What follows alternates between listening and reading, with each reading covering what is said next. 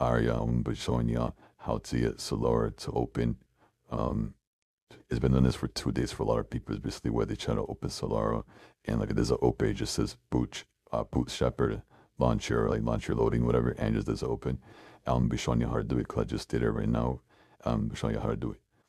Basically, the first thing is obviously if you don't know how to get Solara, search up this was that and and you should be in this page. And before you click on download, you to have antivirus. So basically, just a browse interpretation and open it.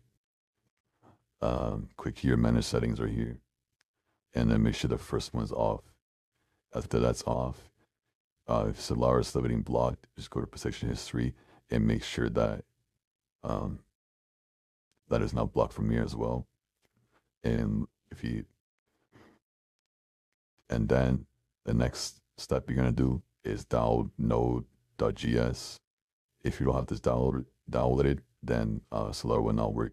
So make sure it's the current version, which is with you this way, and you just click download and then run it. And then once you have this downloaded and the device the partition is off, then you should be good to go. Now just click on download. You're gonna be in a Linkvertise Solara. You might have to wait either an hour or 10 seconds. And if it's an hour, just bypass it. And then you should have the download. And then once you have the download, um, open up BootstrapperNew and it will it will show you what where you want to put it. You could just do whatever, add it as the default, and then click next, and then you should say launcher opening and Solara, Solara should open. And if it doesn't open, it just closes by itself. Then click on BootstrapperNew again, and then it should, the Solara should open.